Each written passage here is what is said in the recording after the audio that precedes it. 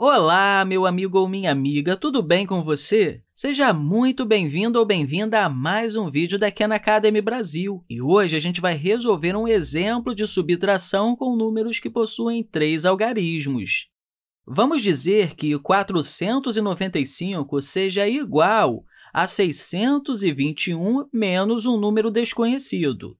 Bem, por isso que vamos deixar esse espaço em branco aqui. Uma forma de encontrar esse número desconhecido é a gente utilizar a reta numérica. A gente pode, então, colocar aqui a reta numérica, aqui a gente coloca o 621 e aqui a gente coloca o 495. A gente vai subtrair aqui do 621 um certo número, então a gente coloca aqui o sinalzinho de menos e aí um espaço em branco, porque a gente não sabe que número é esse. Bem, a pergunta que eu quero fazer para você é essa. Qual é esse número que, subtraindo do 621, a gente vai encontrar 495? Uma forma de encontrar esse número é resolvendo isso daqui por partes, ou seja, o que eu preciso fazer aqui para sair do 621 e chegar ao 495? A primeira coisa que eu posso fazer aqui é subtrair esse 21 desse 621, porque se a gente subtrair aqui 21 desse 621,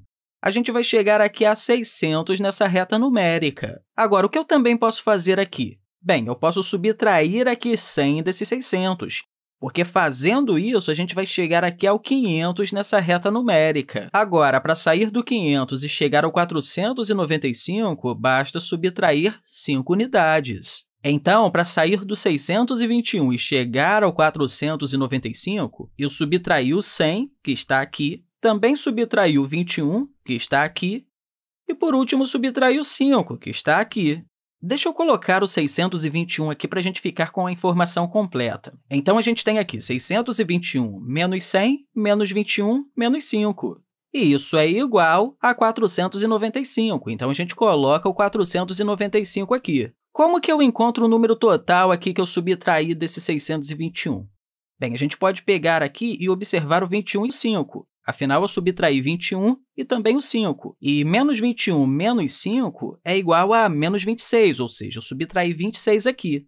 Bem, agora aqui eu também subtraí esse 100. Então, eu subtraí esse 100 e esse 26, de forma que a gente vai ter aqui 126, ou seja, menos 126. Então, o que a gente tem aqui é que 495 é igual a 621 menos 126. Conseguiu compreender direitinho esse exemplo? Bem, vamos fazer um outro exemplo aqui agora. Vamos supor que a gente tem aqui um número desconhecido. Esse número desconhecido menos 435 é igual a 210. A gente pode encontrar esse número desconhecido praticamente da mesma forma que a gente fez antes. Então, a gente vem aqui e coloca a reta numérica. É sempre muito mais simples fazer desse jeito. A gente tem aqui um número desconhecido, que a gente não sabe qual é, mas a gente sabe que a gente vai subtrair dele 435. Então, a gente tem aqui esse número desconhecido menos 435.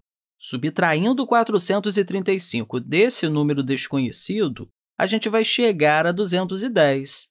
Se a gente sabe que um número desconhecido menos 435 é igual a 210, para encontrar esse número desconhecido, a gente pode adicionar 435 ao 210. Assim, a gente vai encontrar o número que a gente não sabe qual é. Bem, e como que a gente pode realizar essa adição aqui?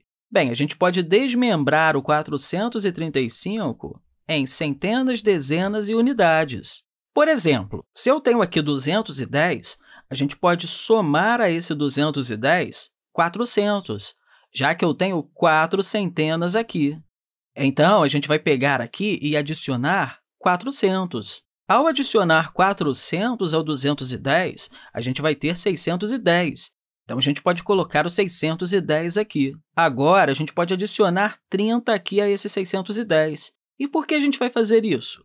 Porque a gente tem aqui 3 na casa das dezenas, e 3 dezenas é igual a 30 unidades. Então, a gente coloca aqui mais 30. 610 mais 30 é igual a 640. O que falta agora? Falta esse 5 que a gente tem aqui na casa das unidades. Então, a gente vai adicionar a esse 640 aqui o 5. 640 mais 5 é igual a 645, e esse é o número desconhecido que a gente tem aqui. 645 menos 435 é igual a 210.